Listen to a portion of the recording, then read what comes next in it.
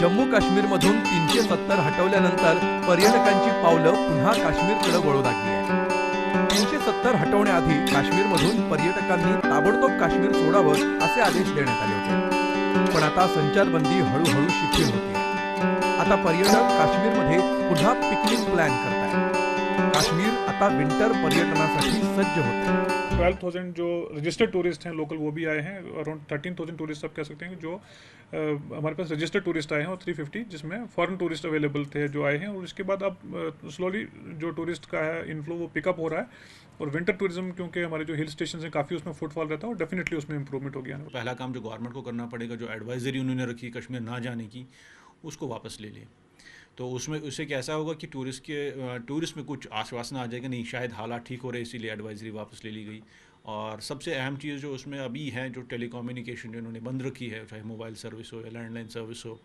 तो वो बहाल करनी पड़ेगी केंद्र सरकारच्या सांगण्यानुसार काश्मीरमधून अनुच्छेद तीनशे सत्तर हटवल्यानंतर सुमारे साडेतीनशे परदेशी पर्यटक आणि देशभरातून जवळपास बारा हजार पर्यटक दाखल झाले आहेत.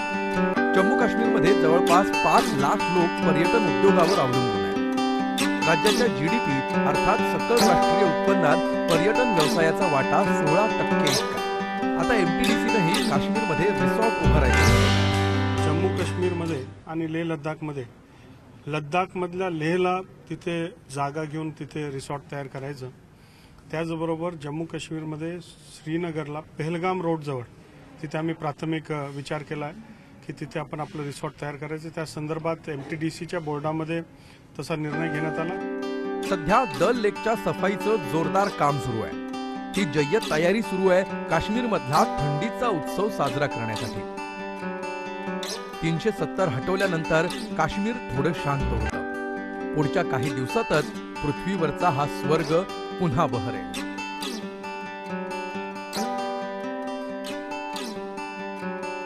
खालिद हुसेन झी चोवीस तास श्रीनगर.